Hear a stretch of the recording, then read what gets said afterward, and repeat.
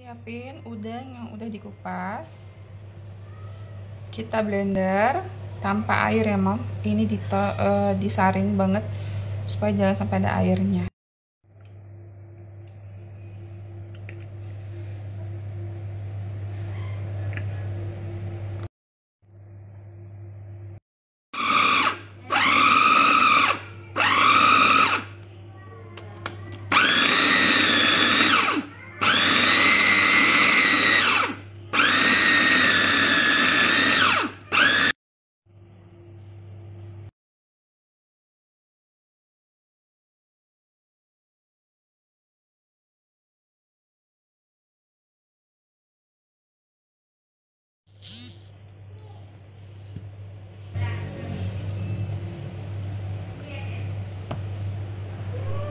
ulennya cukup ditekan-tekan saja ya mam. Jangan dibuat kayak bikin roti. Kalau misalnya adonannya udah nggak lengket lagi berarti adonannya udah bisa dibentuk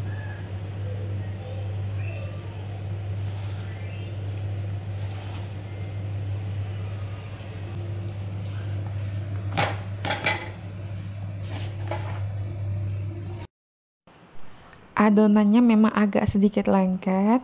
Jadi tipsnya taburkan tapioka di atas talena dan tangan kita dibaluri sama tapioka agar nggak lengket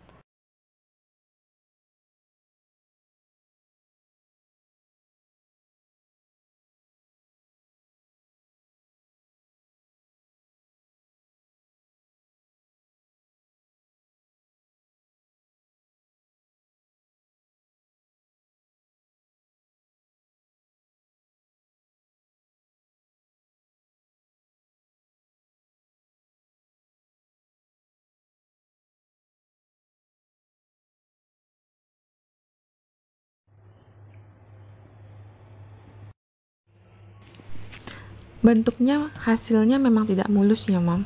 Karena uh, saat menggiling itu kurang halus hasil gilingannya dan ini premium jadi banyak udang daripada tepung. Masaknya 10 menit aja kalau saya ya lihat waktu. Jadi masukinnya barengan jangan sama, uh, beda sama pempek telur ya. Satu uh, lah begitu dibikin langsung dimasukin langsung dimasukin. Kalau pem kalau pempek lenjer itu um, bisa kita tungguin dulu. Terus masukinnya barengan misal 10 10 masukinnya kayak gitu.